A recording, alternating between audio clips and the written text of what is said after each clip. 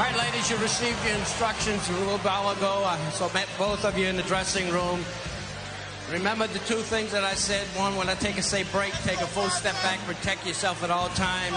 The other being, if I caution you about something, don't do it again. Let's shake hands now. And come out, boxer. Very determined.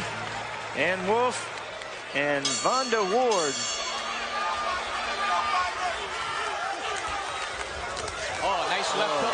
already by Ann Wolfe, Like the way that she uh, threw that first right hand, and there's another one backing uh, Vonda up. And I think when Vonda, like I said, gets hit with the first real power shot, we'll see how she reacts to it. She's sticking her chin up in the air, but it's so high up in the air, it's almost at the top of this Mississippi Coast Coliseum.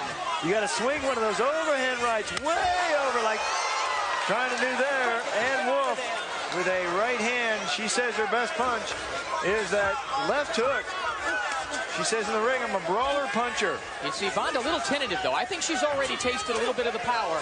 She is making, a, a again, a very bad habit that she's sticking the chin up. Nice combination by Wolfe, backing Vonda up. It is difficult to ascertain how Vonda has done in her career. I know she's 18 and 0, 15 knockouts, but how many people were scared of her and did not really fight her? Oh, big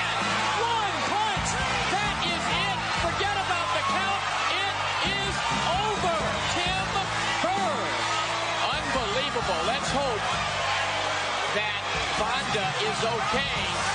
A jubilant Ann Wolfe. That is probably the best knockout punch I've ever seen in, In female boxing, Ever. absolutely. Ever. Still on the canvas, Vonda Ward. Wow.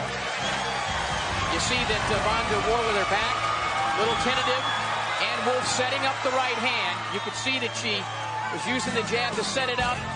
There it is, right on the point of the chin, and that what creates knockouts. One punch. Another look, and gets her full body behind this shot.